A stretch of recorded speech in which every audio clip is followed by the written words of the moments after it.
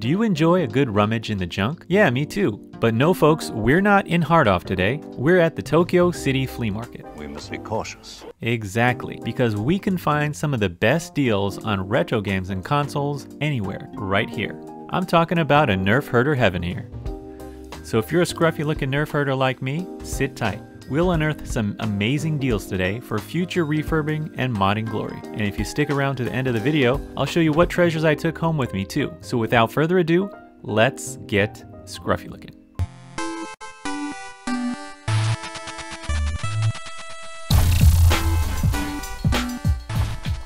Hi, I'm Scruffy Looking RGB, and I take you on retro game hunting, modding, and refurbing adventures all over Japan. In today's video, we're at the Tokyo City Flea Market, where I find some of the best deals ever. The Tokyo City Flea Market is located in Oi Keiba-jo in Ota Ward of Tokyo. Why horses, you ask? Well, this is a horse racing. Yes, the Japanese love a good gamble. Whether it be horses, boats, or pachinko, we've got it all here in Tokyo. But if you import retro games from Japan, you already know, I'm sure, with Derby Stallion being the gold standard.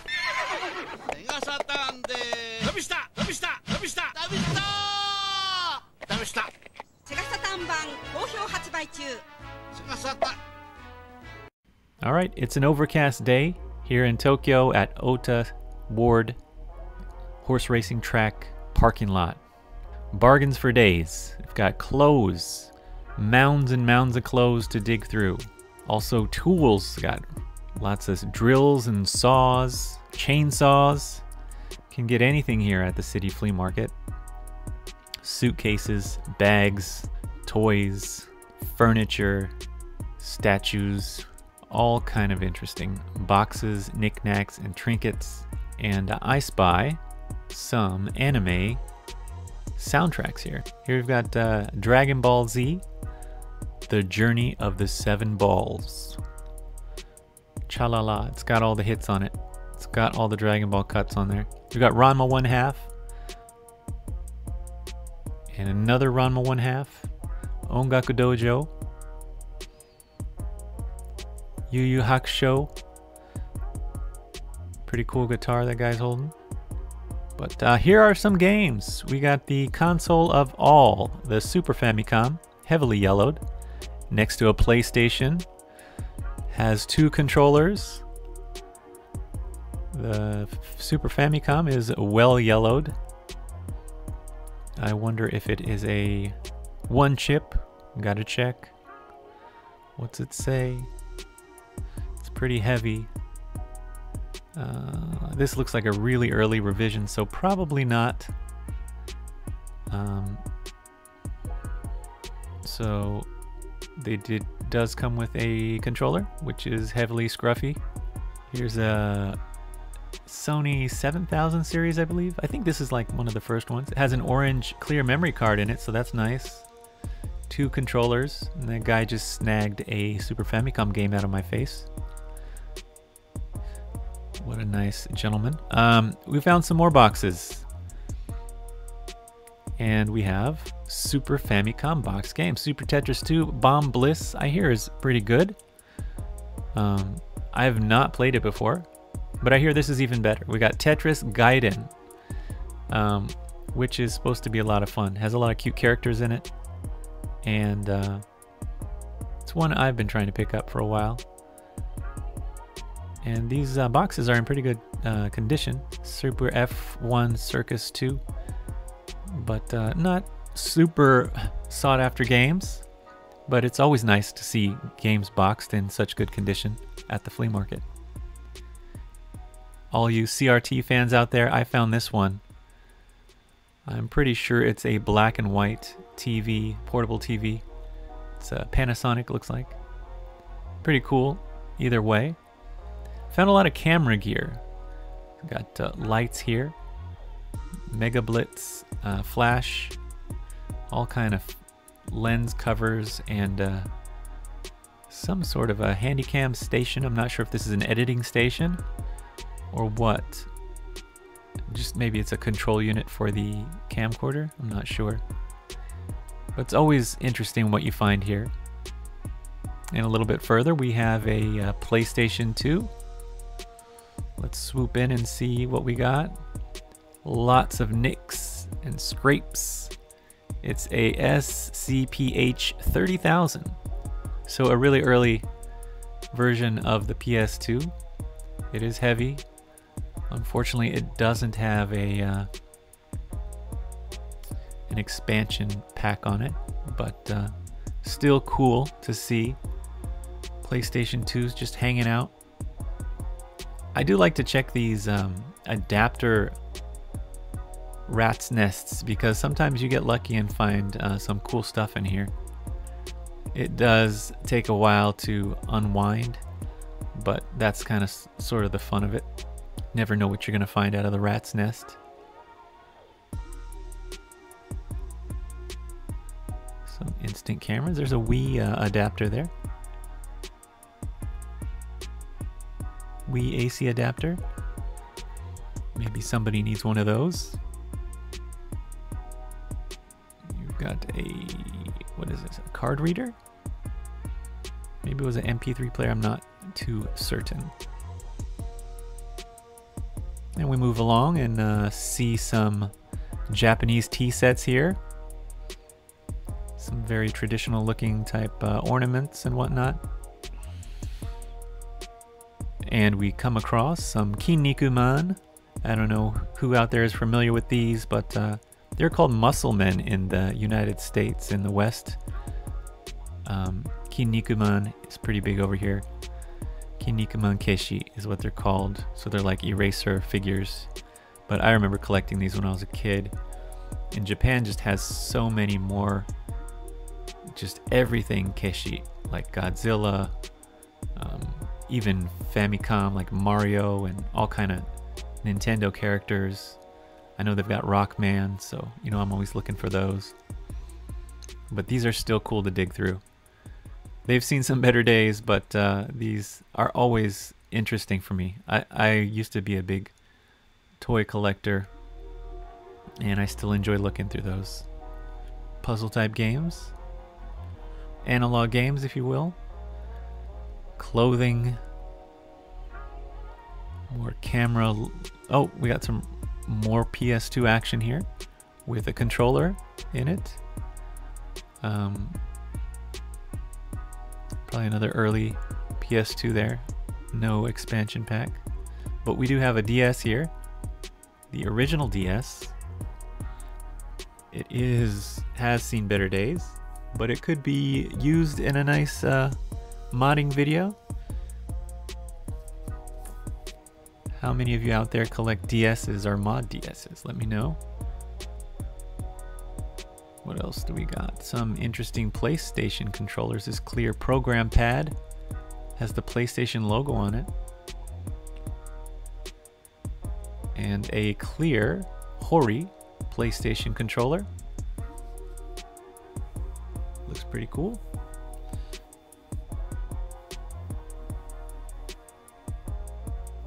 Hmm, I do like clear controllers, so I might have to take one of these home with me kakigori, kakigori machine, an ice maker, shaved ice makers there. Some pretty cool toys here. There's a Pineapple Man and Pikachu. They've got Medama Oyaji from Gegege no Kitaro, one of my favorite uh, Famicom games there of all time. One of my first Famicom games. But Gegege no Kitaro, the Monster Boy. I did a uh, review on the game if you'd like to check it out. Pikachu. It's interesting to see. Cool scotch on there. This man is dressed like a zebra. Looking good. Had some nice music playing. Some cosmetic goods. And uh, this gentleman here really wanted me to look at his knives, so I thought I'd take a look just out of politeness. Alright, that's enough of that. Now what I really was looking at was this here. This Sega Saturn. I'm sorry, this is a Sega Dreamcast, excuse me. Has two controllers. It's a little bit uh, dirty, but this would clean up really nice. It even has the uh, the units inside. what are they, the EMD or the DMU units or whatever. He's got some DS's over here too. There's a DS Lite here. Fortunately, these don't play GBA games, but uh, still cool to see. And an original DS, this is a nice red one. Actually, it's not in that bad a shape. Looks pretty darn good. It's really nice. It would clean up pretty nice, I think. But the Dreamcast, it has its uh, adapter, has two controllers. And there's this Savior stick here. Looks like a nice one. I don't have too many stick controllers. I don't know too much about them, but that one looks pretty nice. I think it's USB though. So it looks like this one is going for 2000 he said, I think. And then I asked him about uh, the Sonic game down here, how much he wanted for it. And this uh, DS, how much he wanted for it, and he said a thousand each of those, and then the game was 500 yen. So not not a bad deal at all. It was complete, except there's a bit of water damage on it. On the back here you can see. So might be worth it. Never know. Sonic Adventure is a good one. All right, and back to some more toys here. Uh, I was looking for game-related uh, Keshi. So I found a Triceratops and a bunch of Gundam, Kinnikuman. Here's Arale-chan, I think her name is.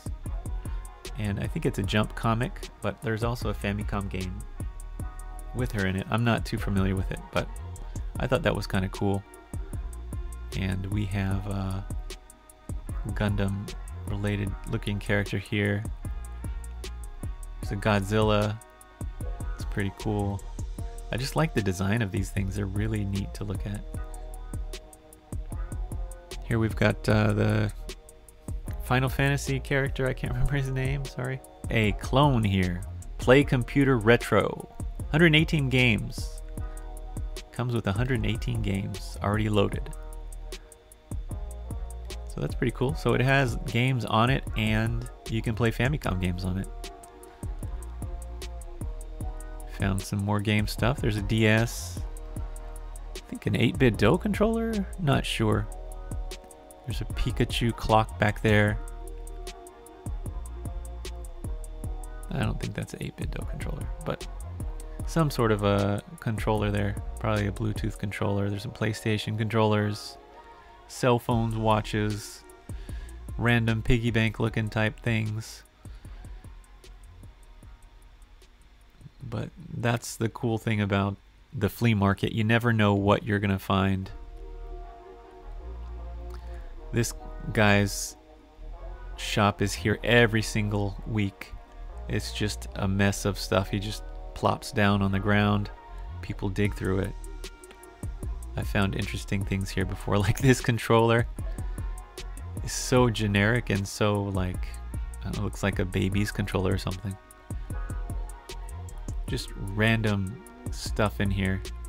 Looks like a PlayStation controller, keyboards. It's just a free for all. Speakers, it's a mini disc like system, stereo there. Heads. Heads. Heads for like like uh, cutting hair, like practicing cutting hair. Sewing machine, vacuum cleaners. There's another PS2 there soccer balls. They got some nice uh, vacuum cleaners here. Some Dyson. There's a PS3 TV card hookup thing. I'm not really sure what those are. Projector. Super Famicom and S16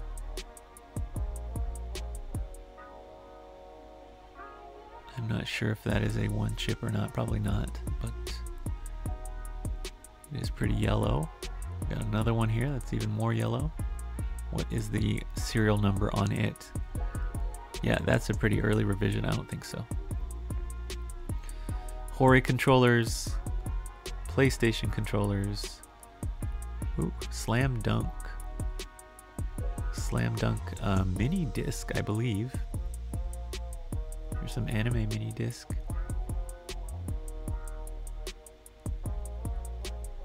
Anime soundtrack mini discs.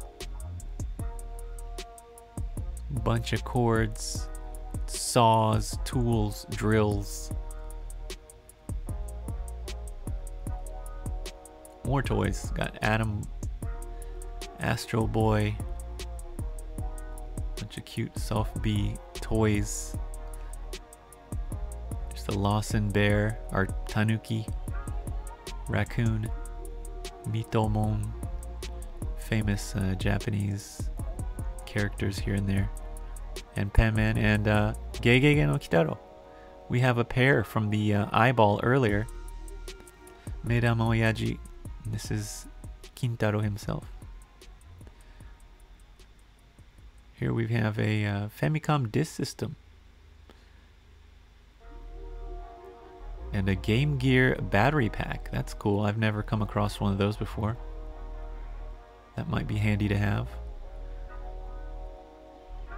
If I ever grab a Game Gear. There's a Super Famicom. A pair of controllers. And an adapter. The disk system doesn't look too bad. It's, it's just dirty.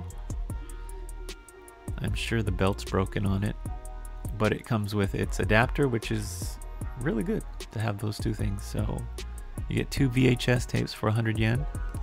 There were some interesting ones in here. Here we've got uh, Arnold and Danny DeVito in Twins. That was a good one, a classic. It's not a tumor. And then uh, Cyborg Cop 3. Some, probably not an American movie. Psycho Diver. Interesting anime.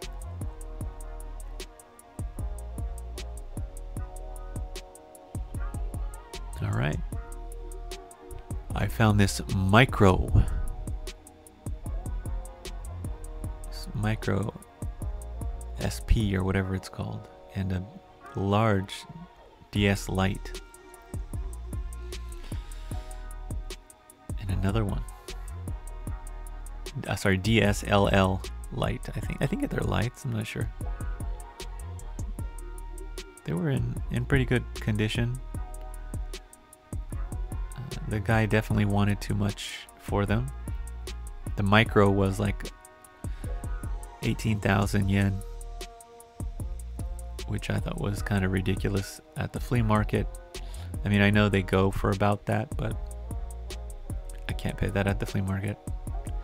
To this guy who probably swooped in on some other dude and bought it in the morning and then put it in his own shop. That's annoying. Here we got a nice little collection. We got a Wii, a red Wii, a special edition one, GameCube, N64 controllers, PlayStation controllers, Wii U, Lots of DSs of varying types. Very cool to see. And we got some Star Wars goods here. I might have to get this helmet because uh, it's one I don't have. Collector helmets and mass Starfighter. Naboo Starfighter helmet. Really cool. All right, we got our goods. Let's go check them out, shall we?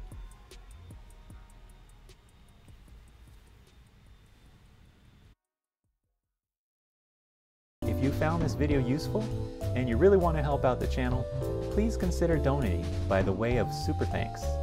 Just click the heart with the dollar sign and choose the amount you'd like to donate. Every little bit will go back to the channel to improve the quality of my videos. Plus, R2 really needs a new motivator. And if you can't donate, that's no biggie. Just don't forget to subscribe and click the bell for new weekly refurbs, modding, and game hunting from Japan because it's free and it happens every week. Okay, let's check out our flea market treasures, shall we? First up, we got this boxed Tetris Gaiden for the Super Famicom. It was only about 800 yen, and I've heard a lot of good things about this game, so I'm eager to try it out. It has cute box art, and even includes the warranty and a pristine manual, which is always a plus. That leads us to my second pickup of the day. You guessed it, this scruffy looking Super Famicom console. Came with two Super Famicom controllers and an AC adapter. I'm sure you're all curious to know if this bad boy powers up. Let's see, shall we? I've got her hooked up to my PVM using original Super Famicom multi-out cables for a composite video. Here it goes. Hmm, a garbled mess. Well, there is sound, but no video. Let's try some HD Retrovision cables so we can see if the RGB out work. Ready?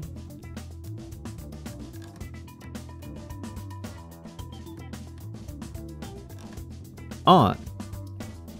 Well, we do have a picture. Now just a bit garbled at the top of the screen.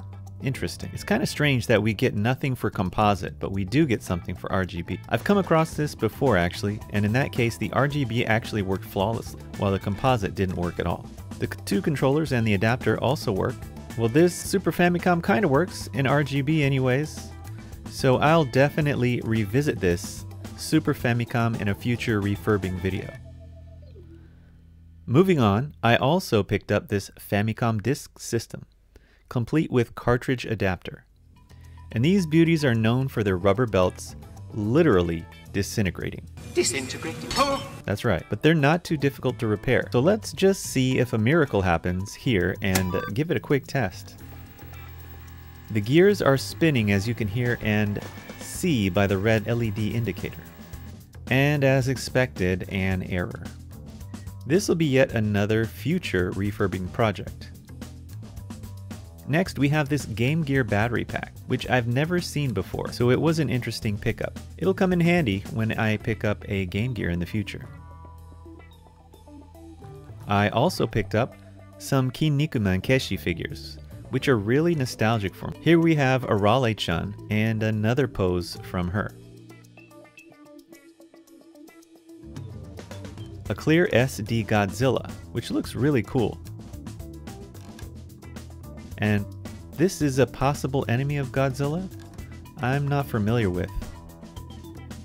And then we have this actual Kinnikuman character too. Sorry I don't know the name offhand.